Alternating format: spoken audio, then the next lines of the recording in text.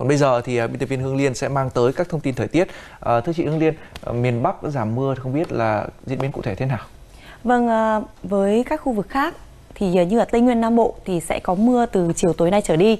Từ 15 16 giờ trở đi so với mấy ngày trước thì cường độ mưa sẽ không còn lớn, chỉ một vài điểm ở Tây Nguyên là có màu xanh đậm, lượng khoảng 25 đến 50 mm, còn lại đều là dưới 25 mm.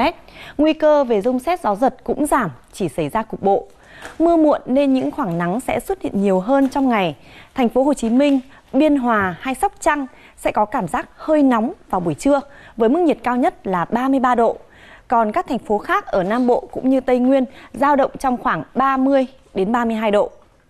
Với Trung Bộ, trưa chiều nay nắng cũng xuất hiện khắp các tỉnh thành, nhiệt độ cao nhất các thành phố từ Thanh Hóa, Vinh trở vào Nha Trang, Phan Thiết trong khoảng 30 đến 33 độ.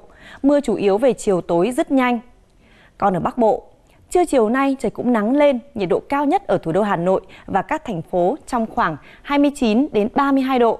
Hà Giang, Lào Cai, Điện Biên Phủ thì hơi nóng, 33 độ. Và đó là những thông tin thời tiết đáng chú ý. Bây giờ xin mời anh Dũng tiếp tục chương trình. Vâng, cảm ơn biên tập viên Hương Liên.